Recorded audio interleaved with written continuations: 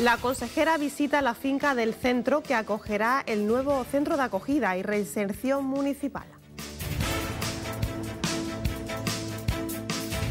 Avance en las obras en la nueva fase de la terminal de contenedores con la construcción del primer cajón de la ampliación.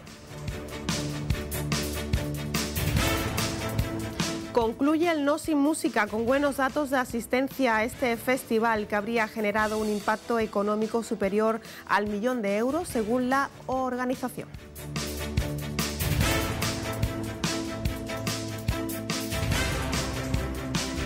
Un saludo, bienvenidos a Noticias Cádiz. Comenzamos este repaso informativo con estos eh, titulares en esta jornada de lunes 5 de agosto. Ampliamos nuestro sumario. La consejera de Inclusión Social y el alcalde han presentado el nuevo centro de acogida y reinserción. El proyecto cuenta con una subvención de la Junta de Andalucía de 1,2 millones de euros para financiar este nuevo recurso para personas sin hogar. El Ayuntamiento de Cádiz trabaja ya en el proyecto de ejecución del nuevo centro de acogida y reinserción para personas sin hogar. Se ubicará en el casco histórico en el número 6 de la calle Soledad, en una finca que es de titularidad municipal tras ser expropiada hace más de 10 años.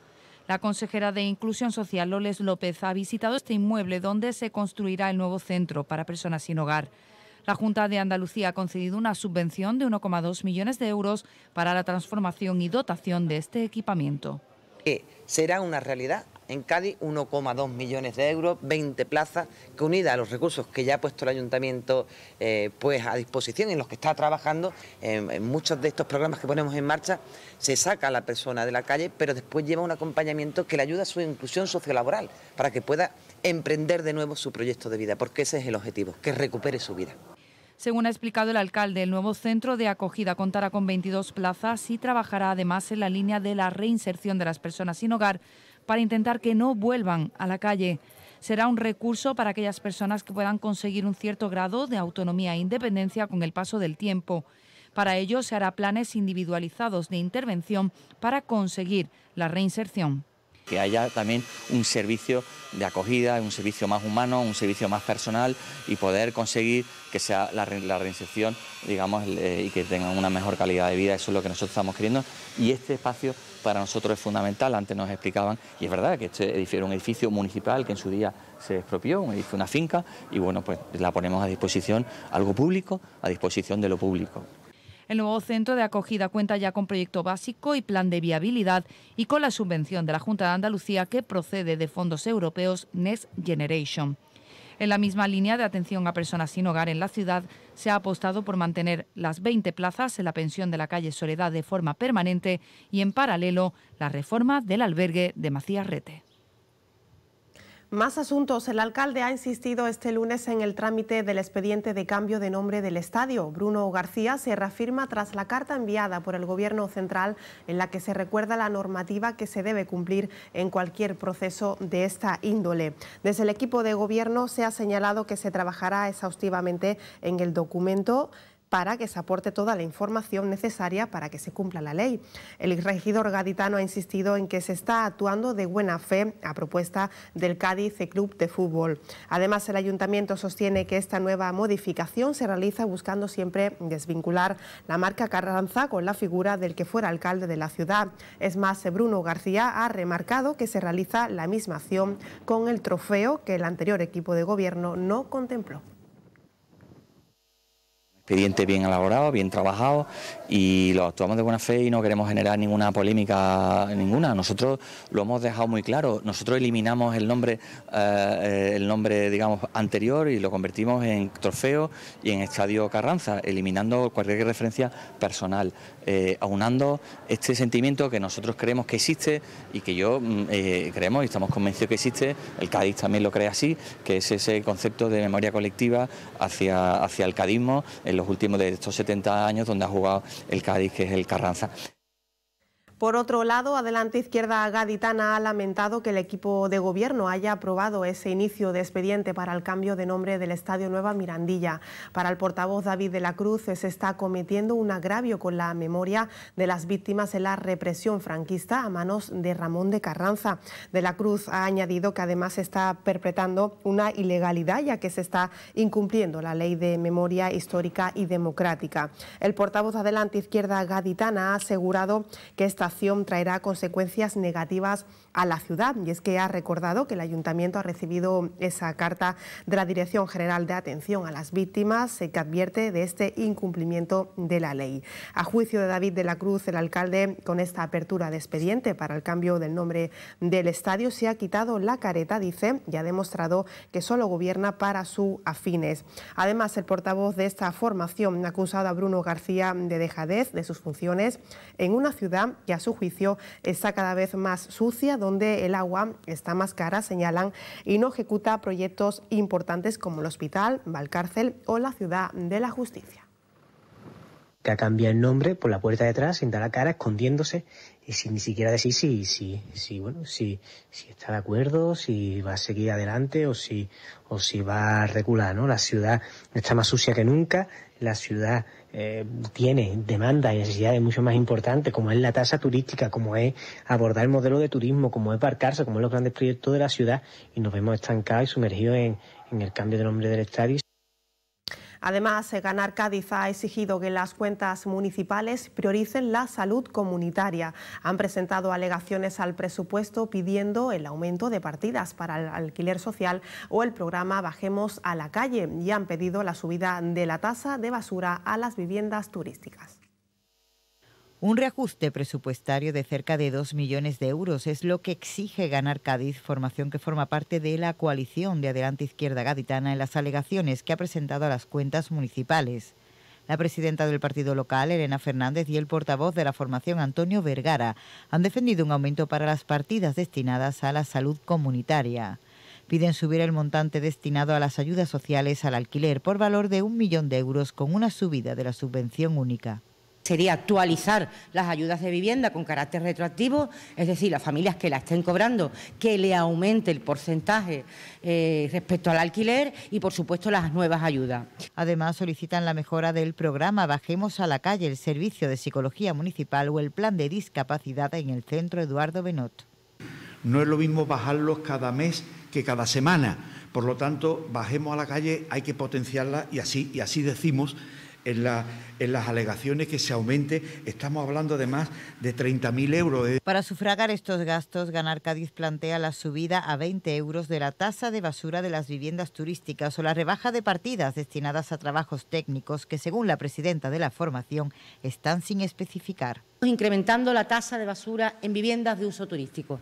Hay una cantidad de dinero en estudios y trabajos técnicos sin determinar, no sabemos de qué estamos hablando. Las alegaciones han sido ya presentadas en el ayuntamiento y serán debatidas en el pleno extraordinario del 9 de agosto.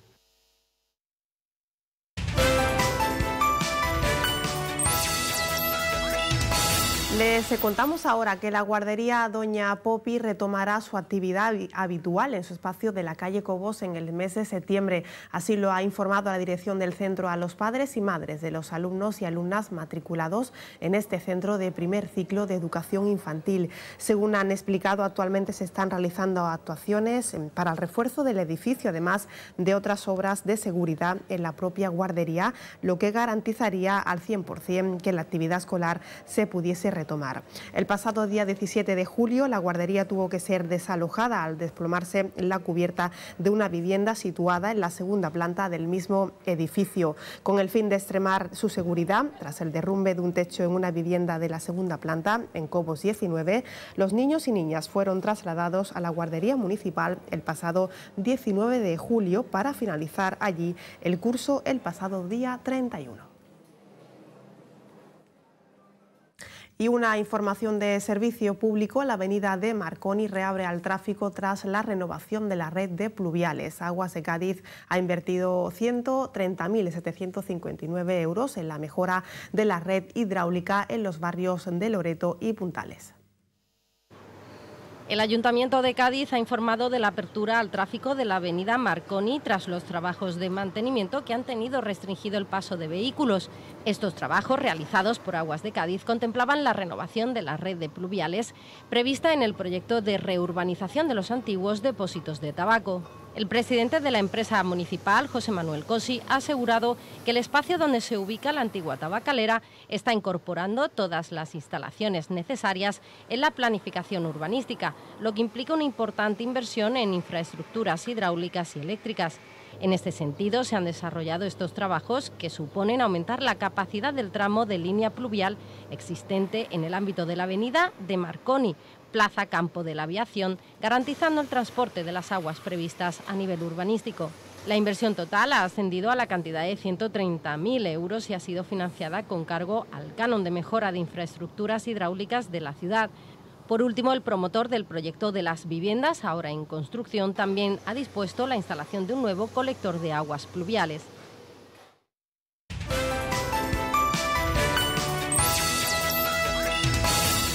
Seguimos con otros asuntos. El puerto de Cádiz se pone a flote el primer cajón de la nueva terminal de contenedores. Ha sido fabricado en el dique Cujira y es uno de los ocho que formarán los 510 metros de ampliación del muelle de la Galeona. Nuevo avance en la construcción de la nueva terminal de contenedores del muelle de Cádiz, con unas dimensiones de 63,68 metros de eslora, 24 metros de manga en el fuste y 20,5 metros de puntal. Ya está a flote el primer cajón de hormigón de la segunda fase.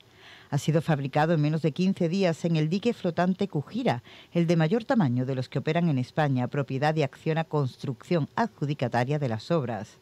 Es el primer cajón de los ocho que conformarán los 510 metros de ampliación del muelle La Galeona. Cada una de estas unidades está formada por unos 6.063 metros cúbicos de hormigón y 524.222 kilos de acero corrugado.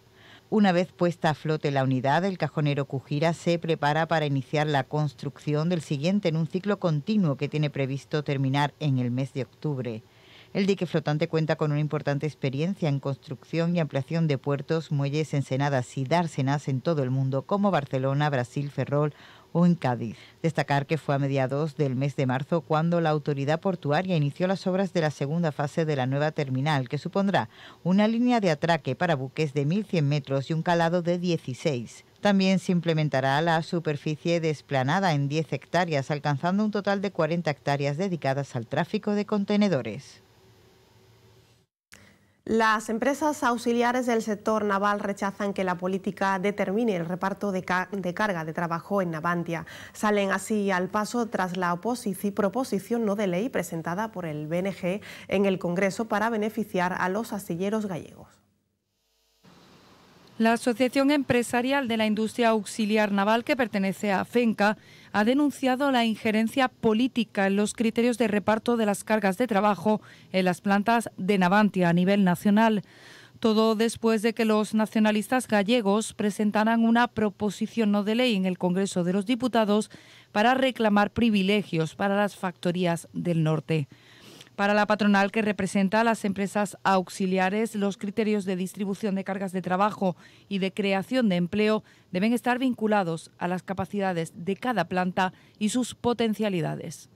Nuestra discrepancia de que se intente utilizarnos para sacar un rédito político turbio que no compartimos desde, desde que el momento que surge la propuesta que, haya sido admitida la PNL todavía nos parece eh, de más rechazo. Nos parece que, que no es admisible, sobre todo teniendo en cuenta que Navantia es una empresa pública. No, en este sentido, denuncian desde FENCA que la propuesta admitida como PNL enfrenta a trabajadores y empresas de Ferrol, Cartagena y Bahía de Cádiz, una cuestión inadmisible, según insisten, por cuanto Navantia es una empresa pública que no debe confrontar entre territorios.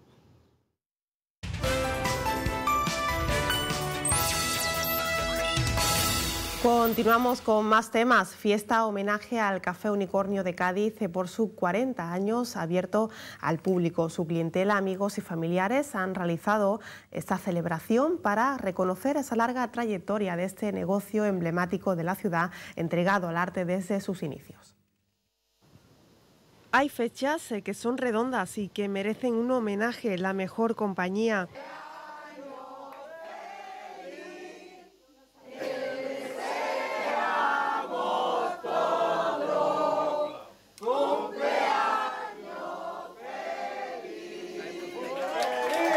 Abrió sus puertas en el año 1984 de la mano de Josu Ramos y María Jesús Garrido y desde entonces hasta la actualidad el local ha acogido un ambiente tranquilo y dedicado al arte y a dar visibilidad a las obras de creadores en nuestra tierra. Un punto de encuentro de artistas que continúa y que ahora junto a sus clientes, familiares y amigos han querido reconocer el trabajo y la larga trayectoria sociocultural de este café pub.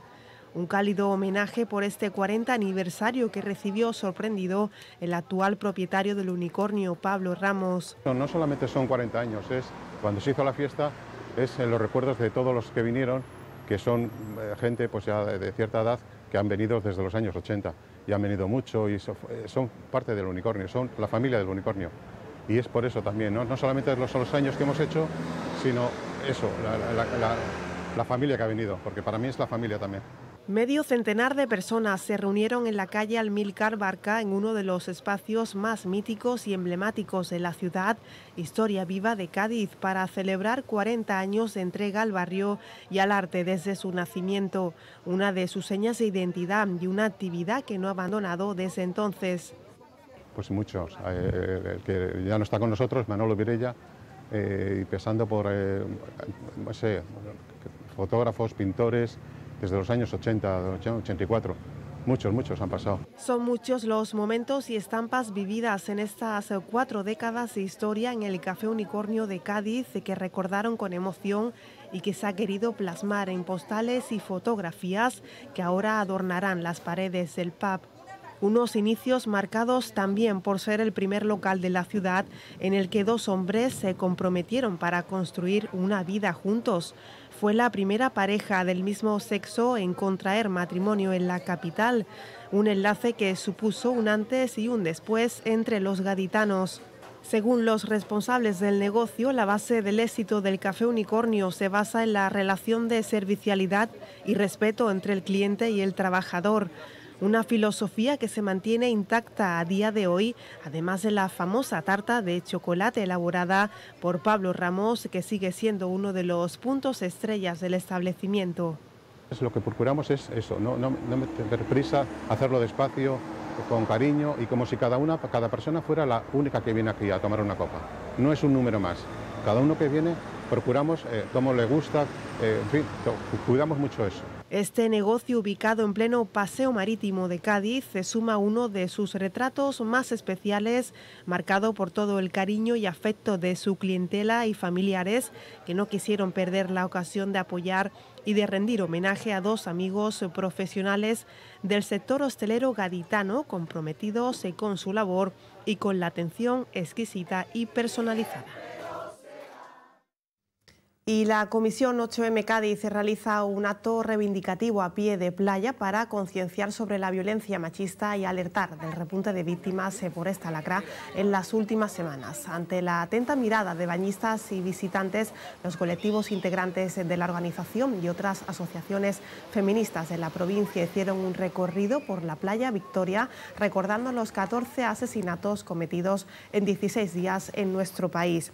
Alrededor de medio centenar de personas participaron en esta performance bajo el lema El machismo no se va de vacaciones, una marcha que discurrió hasta el Hotel Playa y posteriormente se desplazaron a la Plaza Ana Orantes, donde se procedió a la lectura de los nombres de las mujeres y menores víctimas de violencia de género. Desde la Comisión 8M Cádiz piden no bajar la guardia este verano frente a la violencia machista y exigen más recursos para prevenir esta lacra.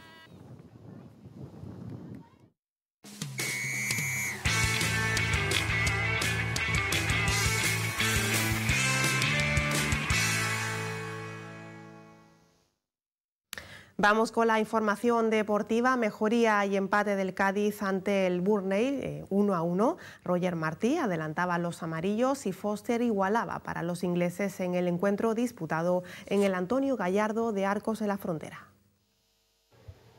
Cádiz Club de Fútbol y Burnley Fútbol Club igualaron 1 a 1 en el amistoso disputado en el municipal Antonio Gallardo de Arcos de la Frontera. Paco López presentaba un once que apunta a ser la base del equipo que iniciará la liga ante el Real Zaragoza el próximo viernes 16 de agosto. Oportunidad para Musa de Acaté, recién llegado de los Juegos Olímpicos representando a Mali. Los amarillos mejoraron su versión con respecto a encuentros anteriores ante un rival con mayor potencial, especialmente en el primer acto. Roger Martí adelantaba al conjunto cadista en el minuto 19. Ganaba la posición en el área a la salida de un saque de esquina y cabeceaba muy ajustado su remate para batir al Lucky. Una acción individual de Odobert, minutos antes, salvada por David Hill, sería el bagaje de los ingleses en el primer acto. Tras la reanudación y marcado por los cambios, bajaría considerablemente el ritmo del partido. En el 53, Foster con una gran ejecución desde la frontal superaba a David Hill para igualar el choque. Brian Ocampo jugaría media hora y disponía de los primeros minutos del periodo preparatorio, aunque la aportación del uruguayo fue discreta, al igual que la de los compañeros que suplían a los titulares. Nuevo encuentro y reparto de minutos que acerca al equipo al inicio de la competición con mejores sensaciones. El equipo descansará este lunes y regresará al trabajo en la ciudad deportiva Bahía de Cádiz este martes a partir de las seis y media, a puerta cerrada. El miércoles se medirá el Real Betis Balompié en el Municipal de la Línea a partir de las ocho y media. Más deporte, la Liga Mafre de Tenis y Playa pone el broche final con la entrega de medallas en el Cádiz Arena. La competición se ha celebrado durante el fin de semana en la Playa Victoria. Más de 150 participantes han pasado por la arena para competir en este torneo que de nuevo ha vuelto a la ciudad. Así han ganado según las categorías eh, Dani de Canarias y Laura, campeona absoluto femenino. Lola y Alba Guadarrama de Barcelona han sido las campeonas de consolación absoluto femenino. También se han alzado con campeonato sub-18 femenino Laura y Dani de Canarias, siendo Samu y Pablo subcampeones del sub-18 masculino. María Martínez de Melilla y Samu han recibido el premio de campeonas en categoría mixto y Laura Jiménez ha resultado ser campeona, subcampeona, disculpen, individual femenino.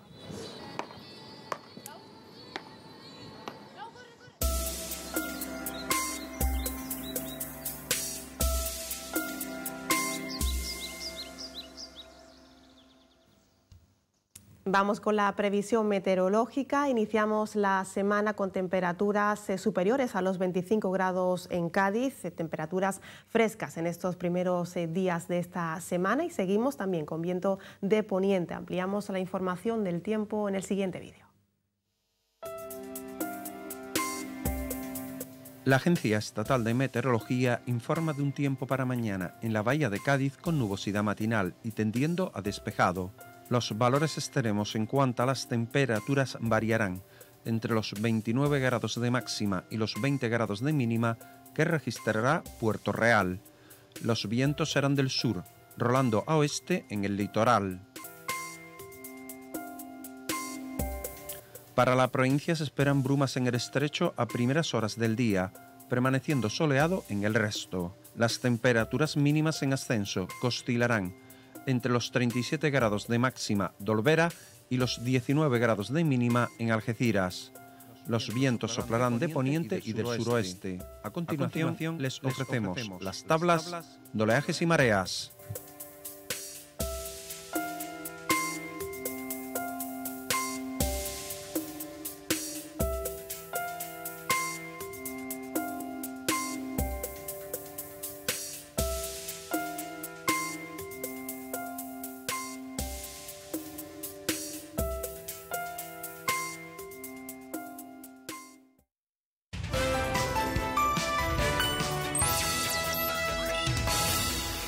Más de 15.000 personas se dan cita este fin de semana. El Festival No Sin Música celebra su décima convocatoria en su nueva ubicación, en el Muelle Reina Victoria. La cita musical del verano en Cádiz hace balance de su décima edición, con la reducción de a tan solo dos jornadas y el cambio de escenario. El Festival No Sin Música celebra los 15.000 asistentes en este 2024. También la organización habla de un impacto económico directo de más de 1,2 millones de euros para la ciudad, con el atractivo de cabezas de cartel como Coquemaya, Los Cigarro, Marlon, Álvaro de Luna, Carlos Tarque, El Canca, Carlos Sanés y Chinova.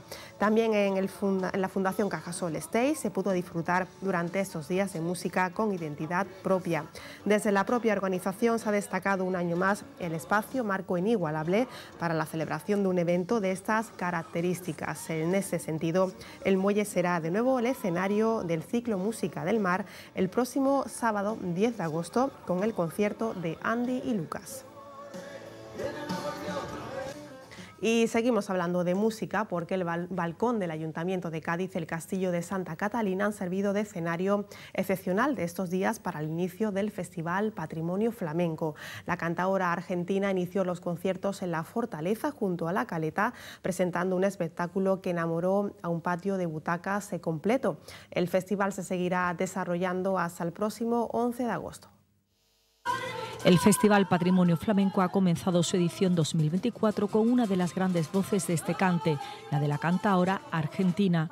La nubense colgó este sábado el cartel de No hay billetes en el Castillo de Santa Catalina, en el primer concierto de este ciclo que finalizará el 11 de agosto. Argentina presentó su espectáculo Los vientos que a mí me traen, en el que también introdujo cantes propios de la tierra, haciendo así un homenaje a la perla de Cádiz en el año del centenario de su nacimiento. La cantante, acompañada de José Quevedo Bolita y Francis Gómez a la guitarra, los Mellis en coros, palmas y jaleos y José Carrasco a la percusión, ofreció un recital de sobresaliente.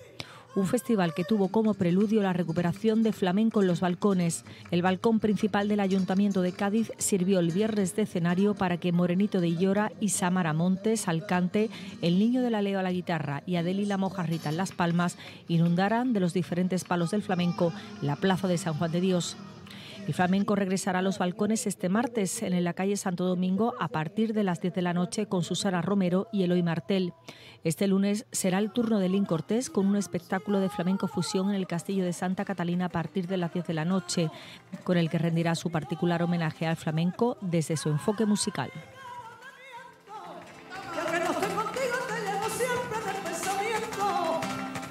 Cerramos este repaso de la actualidad este lunes. Con este espectáculo flamenco despedimos Noticias Cádiz. Ya saben que pueden mantenerse informados en nuestra web y los diferentes perfiles de los canales de Onda Cádiz. Gracias por su atención. Adiós.